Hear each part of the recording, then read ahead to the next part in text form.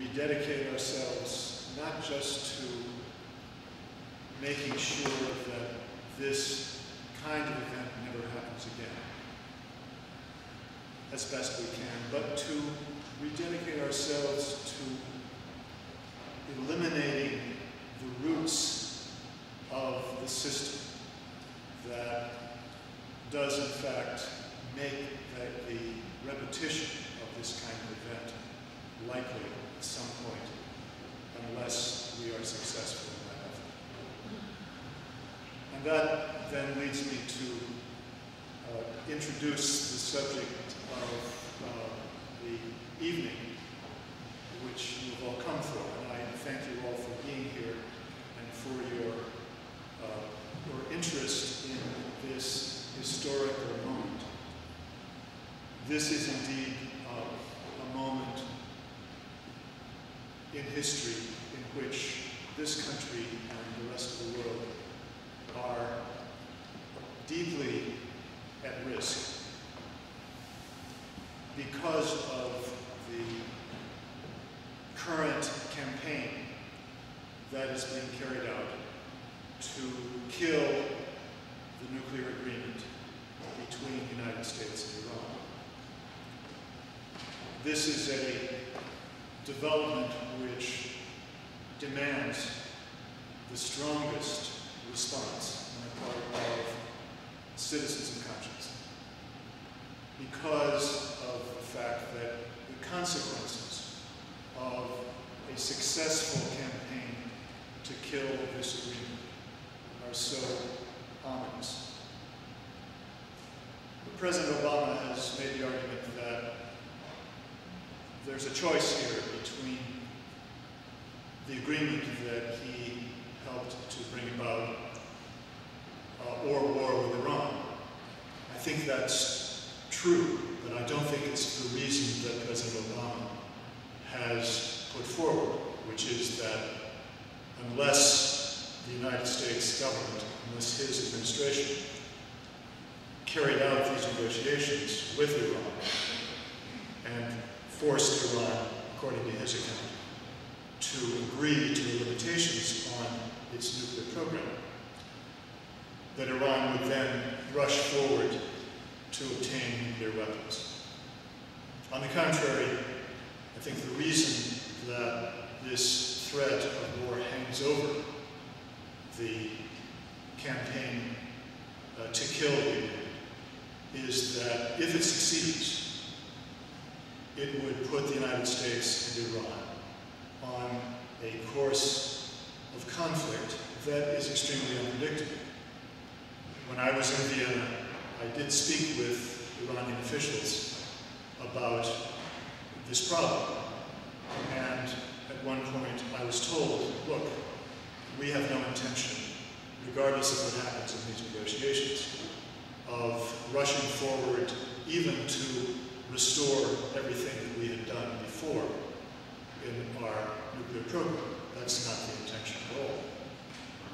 But the fact is that killing this agreement would mean that Iran would in fact respond in some way uh, to restore at least some of the programs or to increase some of the elements of its nuclear program that it had agreed to restrain or to reduce under this agreement. And the response of the United States, we already know, would be very vigorous and hostile. And that will set, set in motion, if it were to take place, it would set in motion a tit-for-tat series of moves which are inherently unstable and therefore carry with, with them the danger of uh, military conflict. And, and that danger is primarily because U.S. policy is so committed rhetorically to the idea that unless Iran bows to the pressures that we've put on it, the United States still has the military option on the table. The very existence of that rhetoric, which is so objectionable, which the Iranians have now formally uh, objected to, to the uh, International Atomic Energy Agency, the United Nations. Uh, that very rhetoric itself constitutes a spur to irresponsible action on the part of the United States. That's the biggest part of this problem that is posed by the threat of a defeat of the uh, joint comprehensive plan of action. What I want to start with tonight is to give you a sense of why this, this uh, campaign has taken shape. Where did it come from? And why it is now, uh, why it now has so much power to threaten the peace of the world. Then I want to talk about the lies that are being put forward uh, in this campaign to try to defeat the, the agreement. And finally, I'd like to say a few words about what I think of as the Orwellian political discussion that has overtaken the United States uh, on the subject Iran, anything that has to do with Iran, but of course particularly the Iranian nuclear issue. So let me begin by talking about where this campaign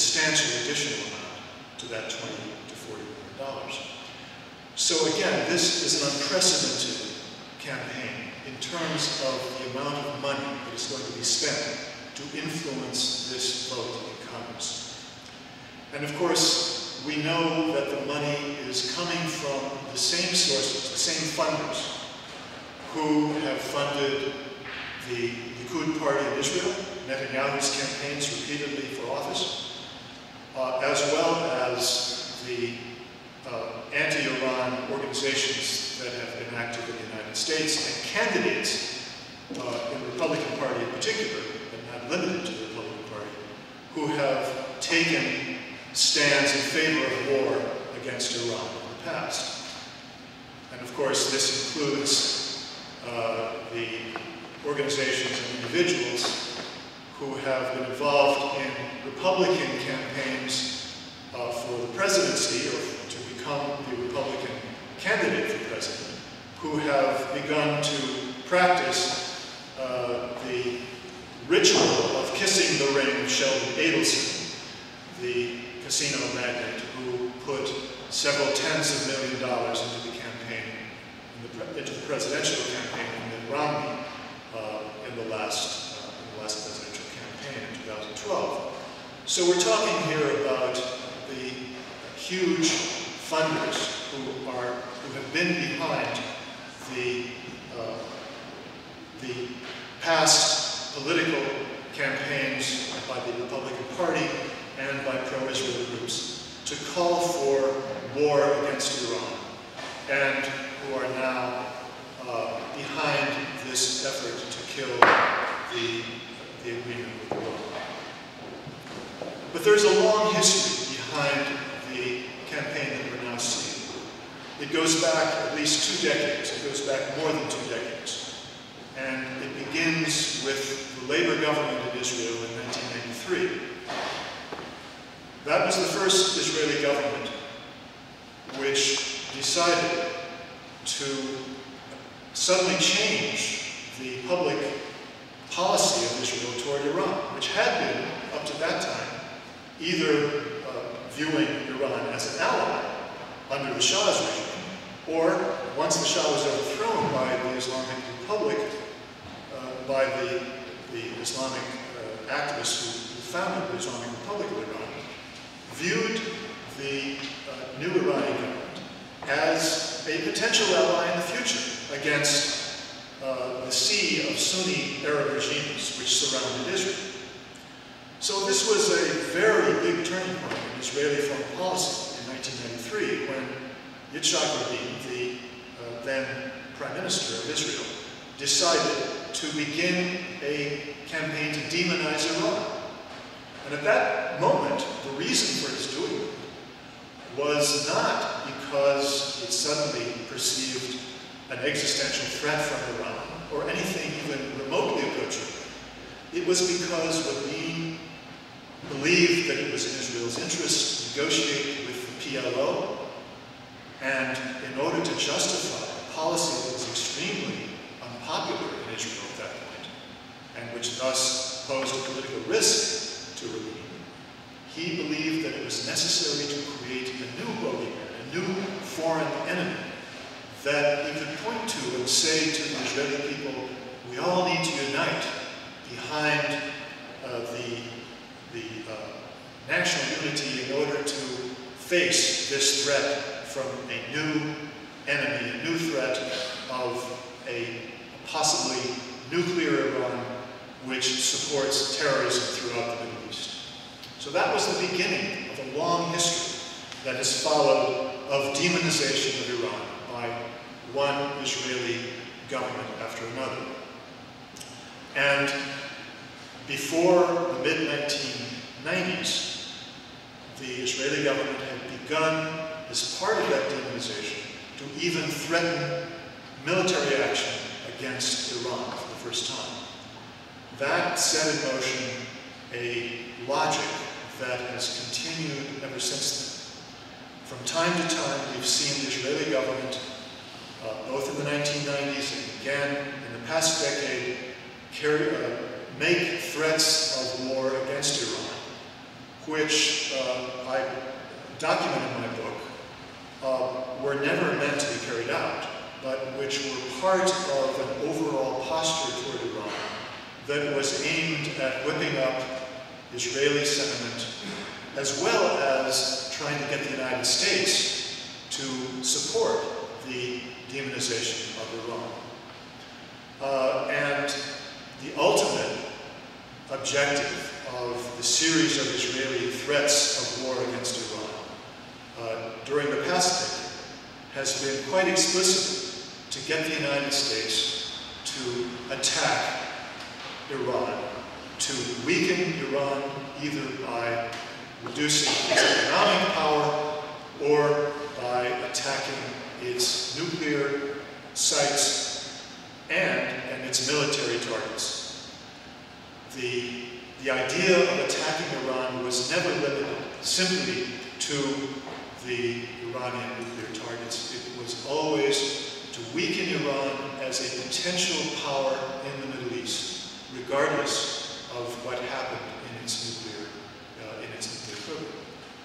So there is a long-standing strategic objective on the part of a series of Israeli governments to try to maneuver the U.S. government into a policy of attacking Iran so that the problem of the future of Iran as a rival to Israel in the Middle East could be taken care of. Now, of course, when we go to the Bush administration in 2001 to 2009, we know that there were senior officials in the Bush administration who were not only sympathetic to that Israeli aim, but who actively promoted that within the Bush administration. And of course, this was primarily led by none other than Vice President Dick Cheney.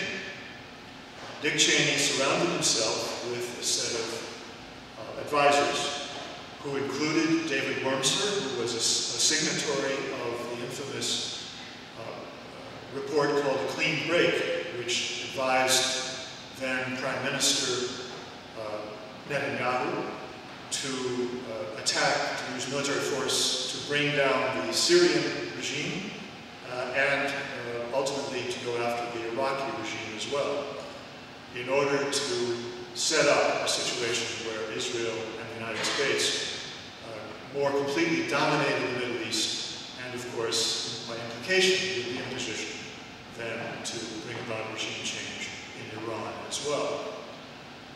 Netanyahu fortunately did not accept the advice of the authors of that report, but from 2003 to 2007, David Wormser was advising Vice President Cheney, and he was part of a coterie of officials and advisors who were plotting uh, a, a, strategy for bringing about a, a U.S. war, a use of military force against Iran.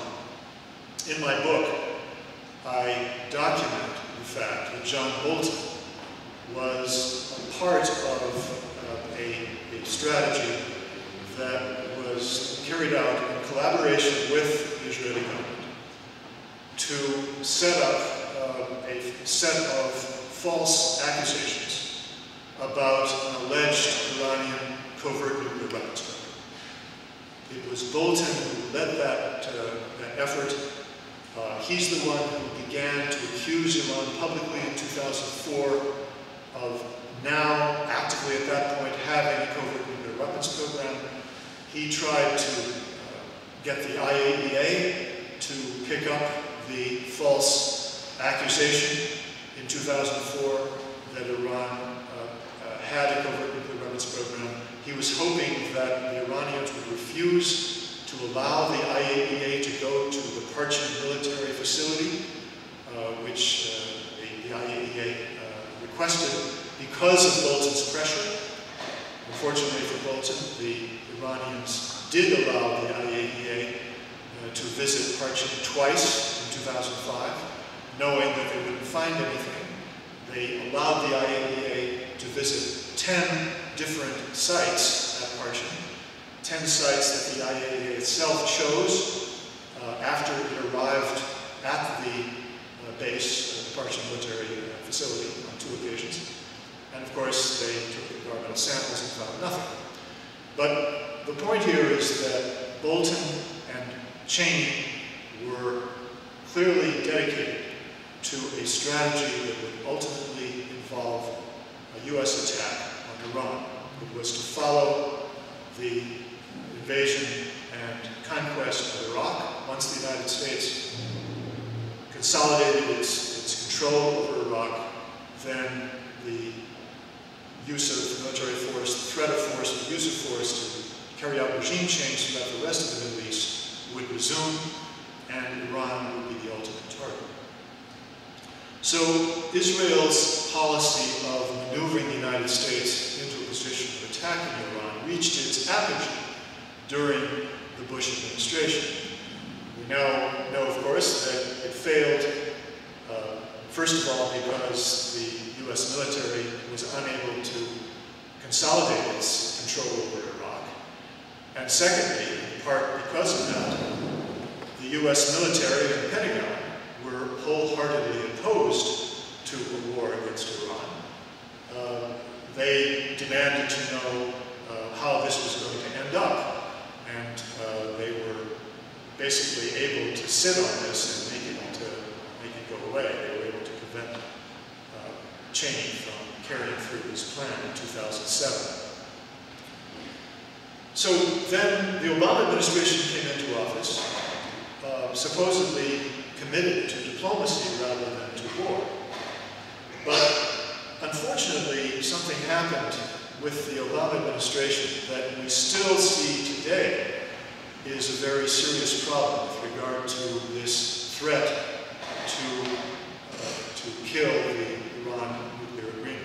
And that is that the Obama administration bought into the false argument that the Bush administration was making throughout its uh, throughout the period from 2003 certainly to 2009 that Iran uh, was pursuing covertly uh, a nuclear weapons program.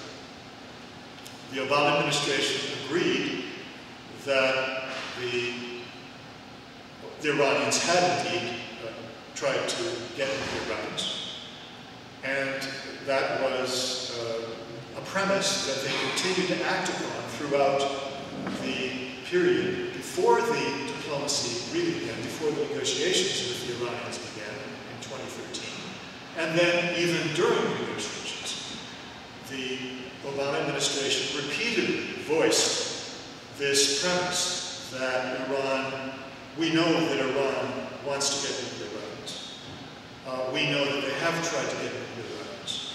And we are going to put pressure on the Iranians to stop their pursuit of nuclear weapons. And we're going to do that, they announced, by the pressure of sanctions uh, economic and financial sanctions against Iran, which they hoped would force Iran to give up entirely its enrichment program. That was the aim, originally, of the economic. Well, that, of course, ultimately failed. Uh, it failed in 2012, it failed in 2013, and by 2014, the Obama administration had admitted that it was not going to work and that they were going to have to actually negotiate with Iran. And that's why we have gotten this agreement, because the sanctions failed to force Iran to do what the Obama administration was determined to force Iran to do, which was to give up uh, its nuclear program entirely except for the, uh, the most token uh, program that would be totally meaningless from the Iranian point of view. So from 2014 to last month, the Obama administration pursued those negotiations and we, we now have this agreement which is so important as a break against the pressure for war with Iran. Because during those negotiations, the Israeli government's strategy, the Netanyahu government's strategy, was to plant one poison pill after another in the U.S. negotiating position. And I've written a number of, of articles from 2012 through 2015, up to 2015, which documents the ways in which the Israelis tried to inject demands uh, that they knew the, the Iranians would reject, and which they hoped very much would cause the breakdown of the negotiations. Uh, for example, the, the Israelis tried to get the, uh, the Obama administration to demand the closure, the complete closure of Fordo, the, uh, the second enrichment site that the Iranians uh, opened in 2010. And uh, the Obama administration actually embraced that position, that demand, for, uh, for a long time. The Obama administration did, in fact, try to force Iran to agree to close the Fordo site. Ultimately, uh, in the more recent phase of the negotiations, the Obama administration was forced to abandon that demand. Another demand that the Israelis introduced, another poison pill, was the demand that, uh, that Iran had to make a full confession of the supposed covert nuclear weapons activities that they had carried out uh, from 2001 to 2003 or even later. Now this, of course, was certain to be a deal breaker because the Iranians would never agree that they should make a confession to activities that they absolutely denied from the very beginning they had carried out.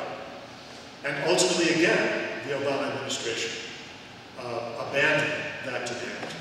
And in fact, when I was in Vienna for the final stage of negotiations, I was given an account of how that issue, which was called the, uh, the uh, possible military dimensions, PMD, possible military dimensions of the Iranian nuclear program, was finally resolved.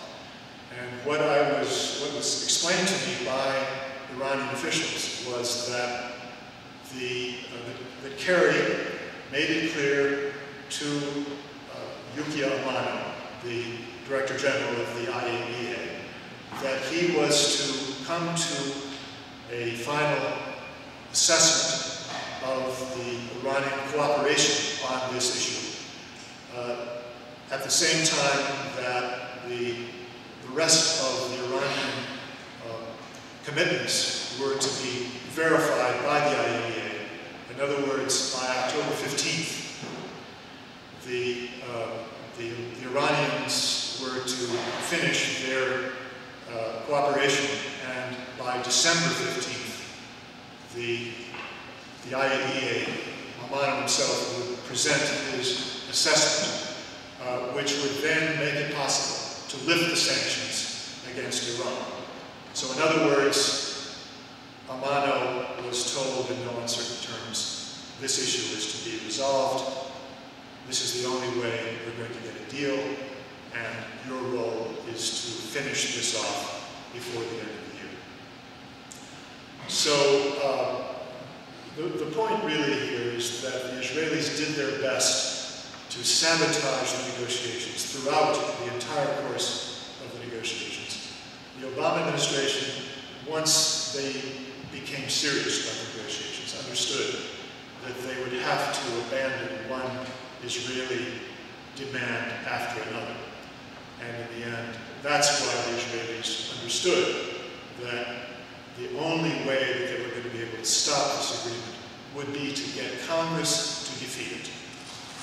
And of course, uh, in the final stage of the negotiations, we saw the Republicans carry out an operation which again was closely coordinated by AIPAC uh, to uh, put forward legislation that would be aimed at defeating the agreement.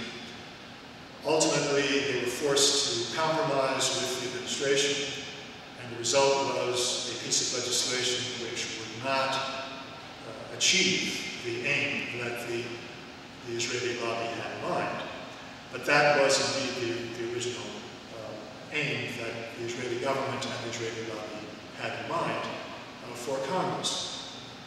So now we are at the point where the, the campaign is ready uh, to try to defeat this, the, the agreement by blanketing 30 to 40 states with enormous, enormously expensive ad buys to create an atmosphere in which large numbers of congressmen, uh, members of Congress, and senators will be exposed uh, to day after day of propaganda uh, to, uh, to argue that the, the agreement is a threat to the interests of the United States. And, uh, and I have to tell you that, that I am concerned about the potential for this campaign uh, to turn enough votes uh, to threaten uh, the, the hold that the president now has on the, one-third of the Congress that is necessary to be able to overcome uh, the, to, to, sustain a veto, I should say, by Congress. And the reason that I'm so worried about this is that the president is in a position where he must defend the agreement with one hand tied behind his back. And what I mean by that is that he must make a defense of the agreement while conceding the main point that the campaign is hammering away at day after day, which is that the, that the agreement is going to terminate after some years, uh, 10 years for the major limitations on the Iranian nuclear program, uh, 12 to 15 years on some aspects of it, but it will terminate, and after that, the argument is being made by the campaign, and you will hear this day after day, that, that Iran will be within weeks of being able to develop a nuclear weapon. Now that, of course, is misleading in the extreme, uh, and, and, here I come to the, the point of the lies that are being made. But the point I want to make at this point is that the president has weakened his defense against the, the assault on the agreement by conceding that yes, Iran wants to get nuclear weapons, and uh, the way that we're preventing them from getting nuclear weapons is through this agreement. Unfortunately, it's not fully answering the assault that's being made because he's not able to say that the Iranians are not going to go forward uh, to get nuclear weapons after the agreement expires. Now, of course, he is going to argue that uh, Iran, and, here's where I will come to the lies that are being told. The lie is that the, the, the Iranians will be able to move swiftly to get nuclear weapons as soon as they're released from the limitations on their nuclear program within this agreement. The first point to be made here, of course, is that the, uh, of the limitations on the nuclear program will not end the IAEA's role. The IAEA will still be there, following everything that's happening in the enrichment pro uh, process, uh, from the mining to the final enrichment and the storage of the nuclear material. All this will be followed uh, hour by hour by cameras that are maintained by the IAEA. So there's not going to be any secrecy about this. If the Iranians were, in theory, to decide to go for nuclear weapons, they would have to immediately kick the IAEA out of Iran and announce their intention to the world. and of course, this is a, a, a, a it's a ridiculous uh, scenario, which even critics of the agreement who are aware of the reality of the situation have acknowledged that this notion of breakout, the whole idea of breakout, that the Iranians will suddenly uh, announce to the world by, you know, uh, beginning to enrich uranium at weapons grade level, uh, is, is simply uh, not realistic at all. The Iranians would have no reason to do that at all. So, uh, so this is part of the lie that underlies the, the campaign against the agreement. But of course, these are uh, technical questions or details that the ordinary citizen is not going to be aware of. And so the problem, to come back to the dilemma that the Obama administration faces is that in accepting the premise of the Israeli lobby, in accepting the premise that uh, was, was pushed by the, by the Bush administration, that, that the, the uh, Iranians have wanted to get nuclear weapons all this time, the Obama administration is unable to take the offensive and say, this is all built on a fundamental lie.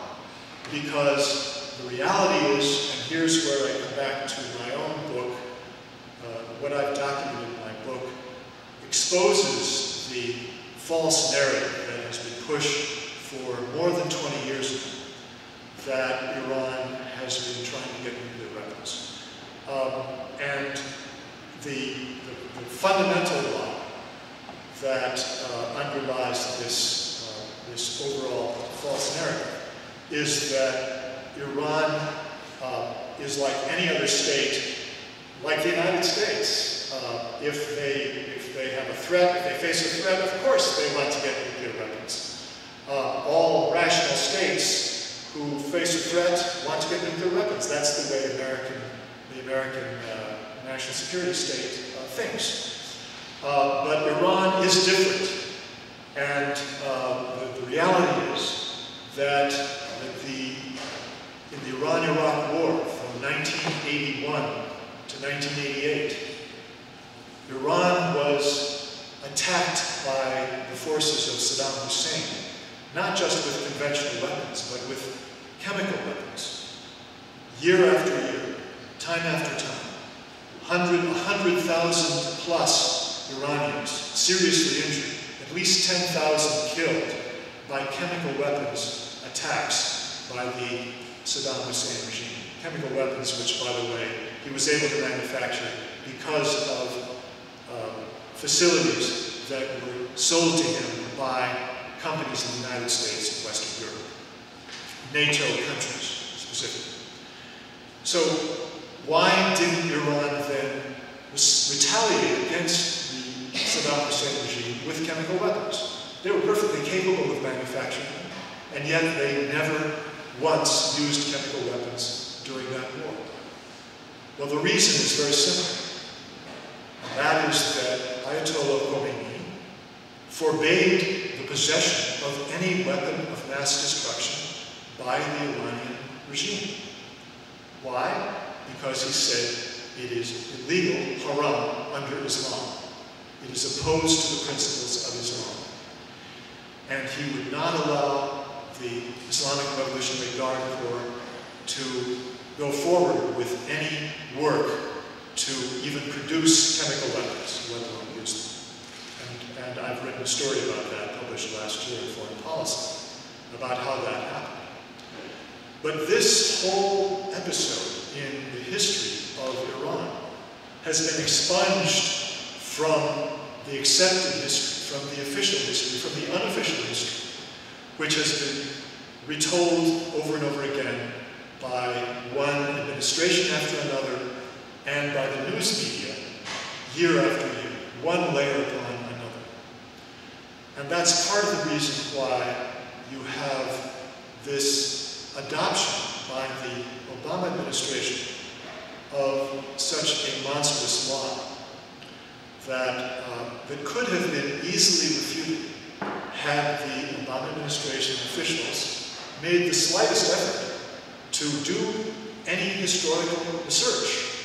It didn't take me more than a few weeks in writing my book and doing the work on my book to delve into the history of Iran's policy to find out what the truth was. All you had to do was have a slight interest in the truth. But that was not the case for the Obama administration. So, so the second lie that the campaign uh, is going to continue to repeat day after day is that this agreement has, uh, is full of loopholes.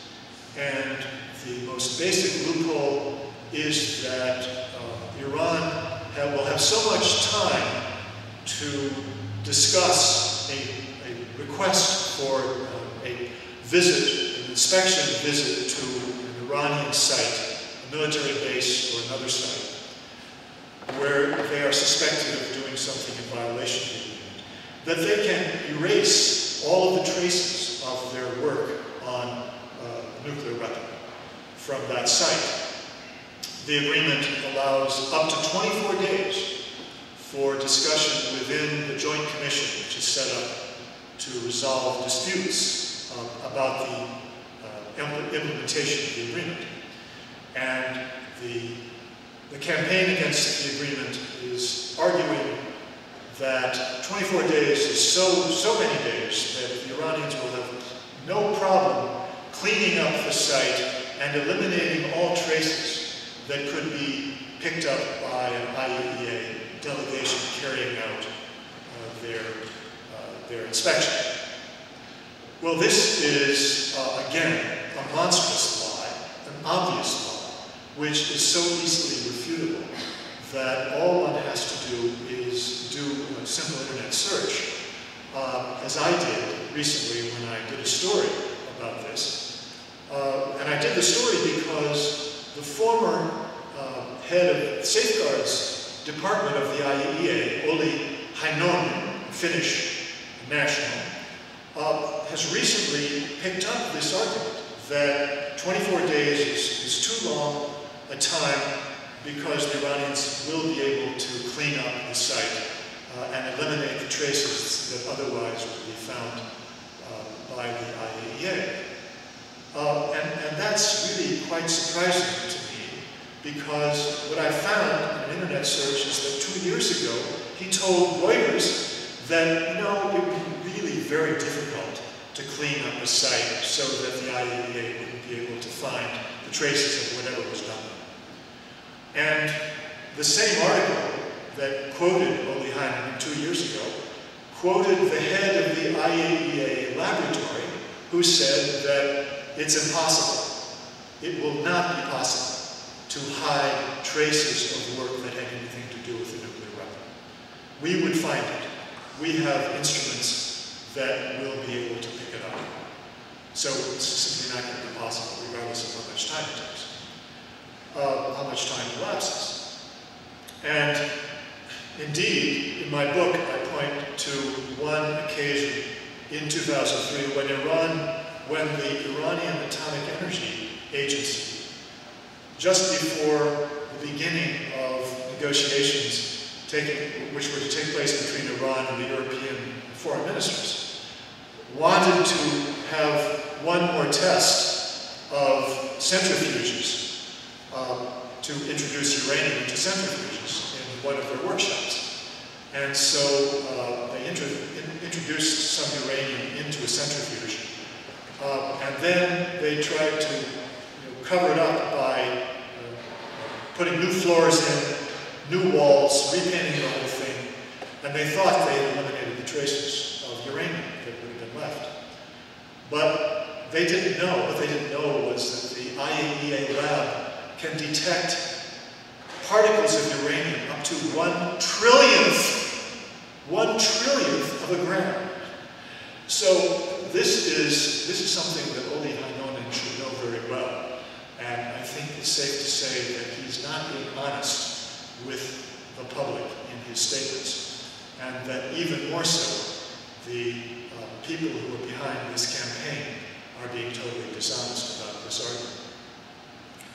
Now the third lie that the campaign uh, is repeating now over and over again is that another loophole in this agreement is that it allows Iran to continue to develop ballistic missiles, uh, ballistic missile program. And that means that Iran will continue to work on an intercontinental ballistic missile, an ICBM. And of course, that means that Iran, they, they're talking about Iran being able to develop a missile that can attack the United States. Now that's, that's another absurd lie, which uh, can be so easily refuted that uh, it's, it's really, to me, it's astonishing that they would believe that they could get away with it. Now, you know, the reality is that no independent observer of the Iranian ballistic missile program has ever believed that Iran was working on an intercontinental ballistic missile. Uh, the, the, Iranian work on ballistic missiles has all been devoted to missiles that could reach targets within the Middle East. Uh, and those missiles have indeed been developed, they've been deployed. The Iranians have talked about them publicly.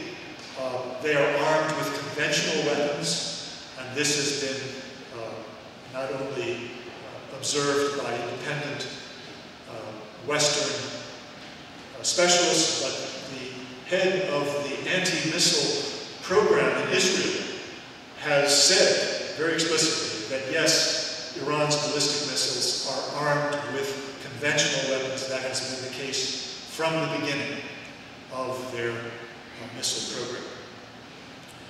And uh, furthermore, the U.S. intelligence community has never reached a judgment that Iran was working on an intercontinental ballistic missile. What they have said in the past was that if Iran were to be given appropriate or necessary assistance by a foreign country, meaning Russia, although it was not stated, that Iran would be able to test an intercontinental ballistic missile. That's the farthest that the U.S. intelligence community has ever gone.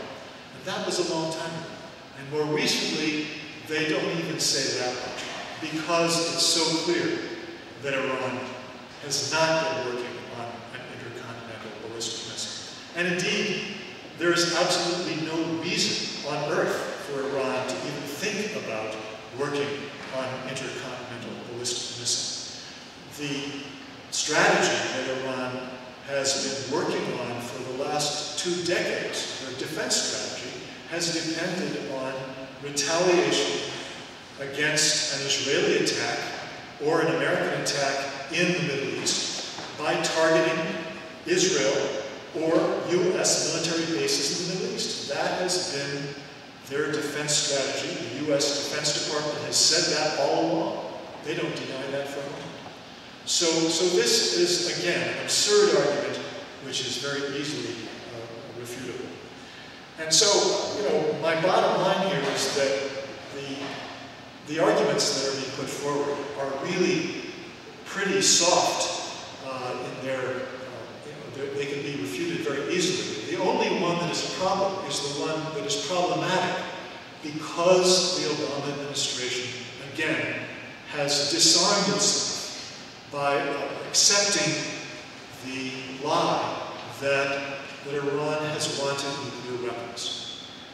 Uh, and, and here again, I commend to your attention the, the evidence that I have put together in my book, which shows that in one case after another, the alleged evidence that Iran worked on nuclear weapons or was even interested in turns out, upon closer examination, to have been either fabricated by the Israelis or to have been the result of uh, a politically uh, tinged set of assumptions on the part of the analysts, either in the IAEA or in the U.S. intelligence community. And I have one chapter in my book devoted entirely to how and why the U.S. intelligence community has gotten Iran wrong from the beginning, from the beginning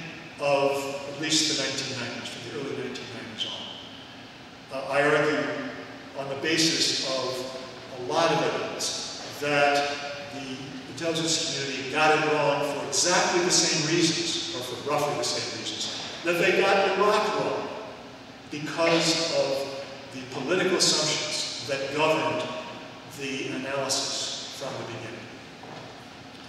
So I want to end this uh, talk by just saying a little bit about what I call the Orwellian political discussion that we have in this country. I call it Orwellian because it's a case of manufacturing facts to fit uh, a policy. Manufacturing facts, creating facts which are convenient to directing the hostility of the American people toward the object that has been chosen. Iran is the current object that has been chosen uh, to be demonized, to be treated as an enemy for all kinds of reasons. And, and it's not just Israel.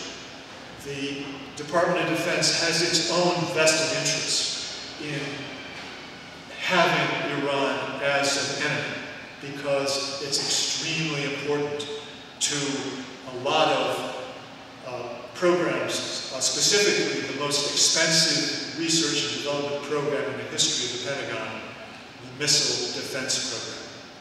And they're not going to do it.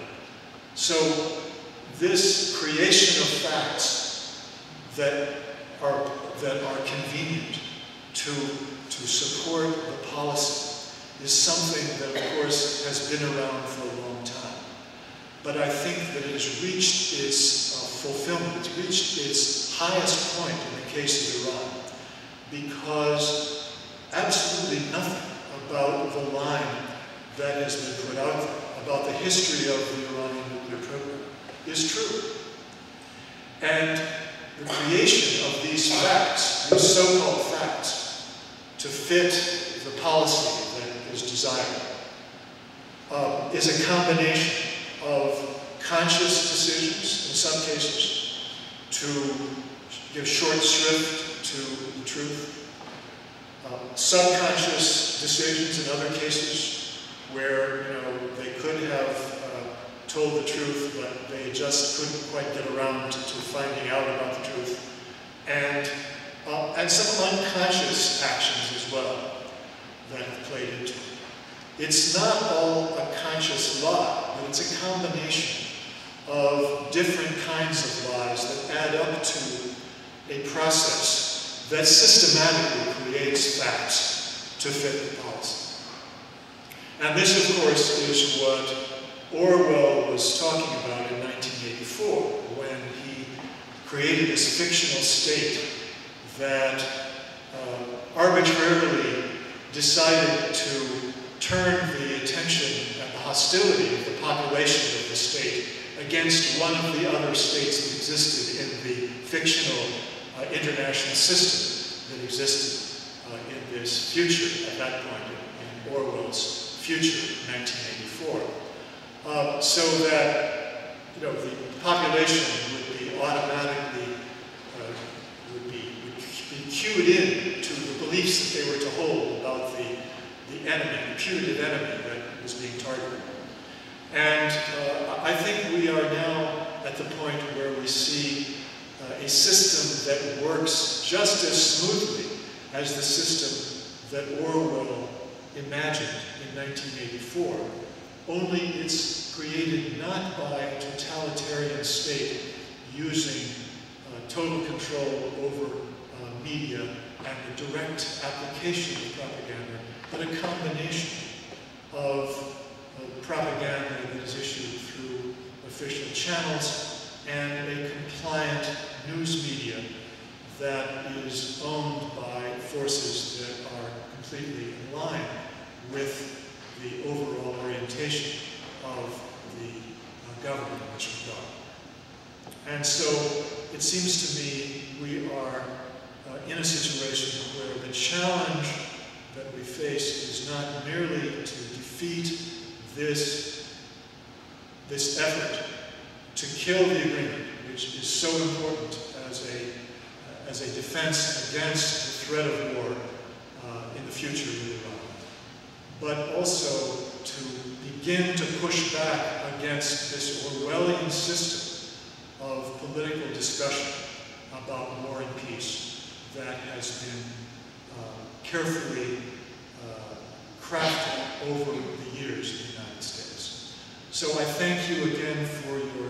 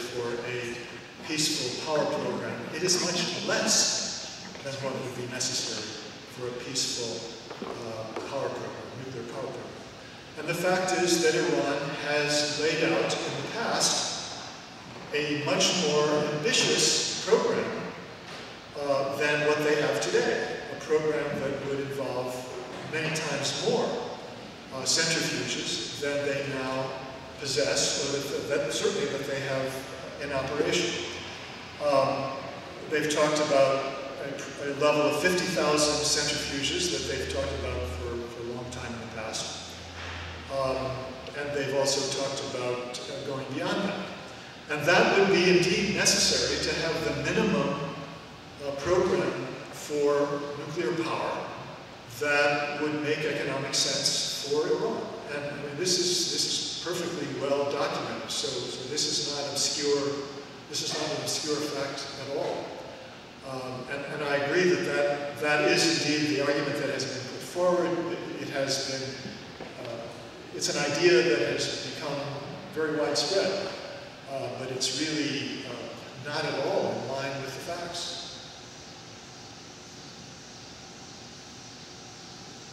David.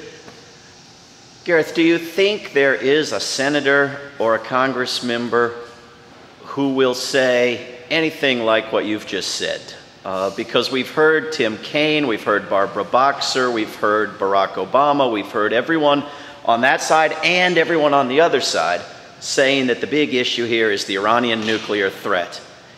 Is, is it conceivable that anyone could be brought to say, no, it isn't. The problem here is the warmongers in Washington. Well, that's a very good question. It's a hard question. It's hard in the sense that I'm afraid the answer is no. And I'd like not to say that. I'd like to say the answer would be no unless extraordinary efforts were made. I mean, with extraordinary efforts to pull together a group of members of Congress and say, look, here are the facts that we know you're not familiar with because, you know, the facts aren't available in the news media. They're not available in the uh, literature, uh, except for this new book that came out last year. But you need to be exposed to these facts. I do believe that, that if this could be done, yes, you could pull together a group of three or four members who would be able to then tell the truth. But, you know, that's very difficult. I don't know if it can be done. I think it's worth thinking about. I think it's worth a try. But that's the only way it can be done. I mean, you know, I, I have to say that I did make my own efforts some months ago to go through one member's office who seemed to be very sympathetic, to say, could you help me pull together a briefing on Capitol Hill, uh, which would coincide with what looked at that point to be the last round of negotiations. This was last November. How, I, how naive I was uh, about how long it would take to get the. Um, and initially, the office said, yes, we can do that. We'll, we'll, have a, we'll have a forum in which we can invite staff and members, and you can talk about your book and, and what you've learned. But then, you know, later on, they just kind of said, well, we don't think we can do that. So it kind of faded away. And so I haven't really tried since then to, uh, to come up with a, a formula. But I would certainly think, you know, if, if you have a way to identify people who would be most likely to be reasonable, to listen to the truth, that that would be worth a try. Yeah. But certainly there's nobody at this moment who would say, oh, yeah, sure. I mean, you know, they would be resistant immediately, and you'd have to really find a way to break through, you know, to say, now wait a minute, hold on. There's something here that you don't know about, and, you know, if you just give it a little bit of time and effort to see if you wouldn't change your mind. Yes? Yeah, I wanted to follow up on that question. Um, I thought it was interesting earlier when we were talking about how the Obama administration, in a way, kind of gave into the premise of the Bush administration and um, was sympathetic to kind of the warmongering rhetoric coming from Israel and, you know, lots of people on the right. Um, so my question is, do you think that he was actually giving into that idea, or was he, in a way, conforming to greater political sentiment that allows you to survive in the American That's a good question. I I think the answer is it's not either or. I think it's some of both. I think that indeed, I would go even beyond. Can you repeat the question? I'm sorry, sorry, yes. If I, tell me if I got this wrong, but the question as I understood it was, was, was Obama's giving in to the premise that Iran wants to get nuclear weapons, has tried to get nuclear weapons, uh, a matter of his uh, sort of just conforming, I think the, well, that- was the second alternative, conforming to what was the dominant way of looking at it, or, or was he, or, or, or did he in fact agree with some aspect of the policy implications of it? And, and I think that it is some of both. Um, and the reason I say that, I didn't get into Obama's policy uh, in the first four years, particularly toward Iran. But, uh, but there was a very dark side to Barack Obama's policy toward Iran, uh, which is not understood at all. Um, within days of his entering the Oval Office, Barack Obama was talking to the cyber attack uh, experts, people who had worked um, with the Israelis and under the, uh, the Bush administration. This, these were NSA people were collaborating with Israel to come up with a strategy to attack Natanz with a cyber attack. And they presented their strategy to Obama within days of his uh, setting foot in Oval Office, as I say. And he approved. He said, yes, go ahead, keep going. And within a matter of weeks, uh, in the spring of, of 2009, Obama had approved the first specific attack on Natanz, uh, the, first, the first ever in history cyber, national cyber attack that was aimed at and accomplished the destruction of physical infrastructure in a foreign country. This is this was a declaration of war in, in, in modern, you know, post-internet history. This is a declaration of war by the United States against Iran. And, and so it has extremely grave consequences, potentially. But that was the first thing he did. Then the second thing he did was to approve the preparation uh, for a program of extremely harsh sanctions against Iran. He did that at a time when he was supposedly still trying to get the Iranians to sit down and to negotiate with him. And I won't go into detail because we don't have time for that, but I've shown in my book that the evidence indicates that his policy was not, at that point, to use sanctions to try to get Iran to come to a negotiating table. It was to use the prospect of negotiations to sell our allies and negotiating partners, i.e. Russia and China, on the idea of, of sanctions, to get them to buy into sanctions. In other words, the fundamental program of the Obama administration in his first four years was not diplomacy, it was sanctions. He was not ready to negotiate with Iran seriously at any time during his first four years in office. It was not until 2013 that he said, okay, that didn't work, and he was ready to negotiate. So uh, what I'm saying is that he really did buy into a strategy that was something other than diplomacy for the first four years. And I think this fit into that, that overall strategy. Yes? The change in leadership in Iran is what precipitated the beginning of the negotiations. What are the internal dynamics, pro and con the agreement, Okay, the question is, uh, the, the internal dynamics, political dynamics in Iran were the main factor that brought about the negotiations. What are the, uh, how are those political, uh, political uh, factors, political dynamics playing out today in terms of pro and con of the agreement? First of all, I just want to introduce a nuance into this point that you've made, which, you know, basically, you know, I think that it's, it's defensible to say that, that the political dynamics in Iran, which brought uh, Hassan Rouhani to the presidency, certainly played a role in the evolution of the negotiations, no question about that. And it played a role because Hassan Rouhani is the, he was the one who coordinated Iran's negotiations with European foreign ministers in 2003 to 2005. That's when he worked very closely with present Foreign Minister Javad Zarif to come up with a diplomatic strategy which was really seriously aimed at getting an agreement with the, the European foreign ministers if they could possibly do it.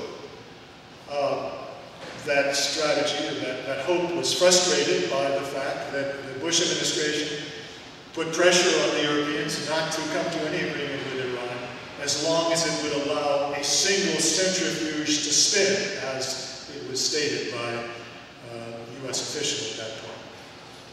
But I also want to just point out something that is not being reported or not being repeated in the discussion of this issue. And that is that even under the Ahmadinejad government, the Iranian government was prepared to negotiate with the United States. They did, in fact, make proposals to the United States. They were trying to get the Obama administration to begin to negotiate a deal that would involve limitations on the Iranian nuclear program in return for, for raising, for lifting sanctions. So it's not, it's simply not true that it was not until the Rouhani government that Iran was ready and willing to negotiate. It's, it's much more um, nuanced than that. And at that point, in fact, uh, when, when the Ahmadinejad government was making those proposals, made a series of proposals to the United States, and they, they were, you know, they were not ready they were not proposals that were realistic at that point. They would have had to have go, gone much further than that, as they ultimately did. But nevertheless, at that point, the Obama administration was not really prepared to negotiate the acceptance of Iran's enrichment program. So there was a real problem on both sides at that point. Now, how does it, how does the, uh, the Iranian political system point play out in terms of support for and opposition to the agreement. Um, I'm not an expert on domestic politics of Iran, I don't claim to be, but I can say this much, that